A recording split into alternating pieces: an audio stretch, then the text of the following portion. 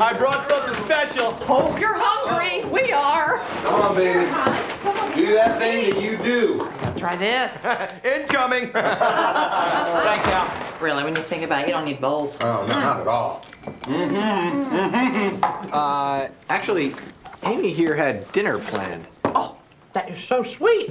You guys still eat dinner? Huh? Dreamery ice cream in 18 flavors. This could be a problem.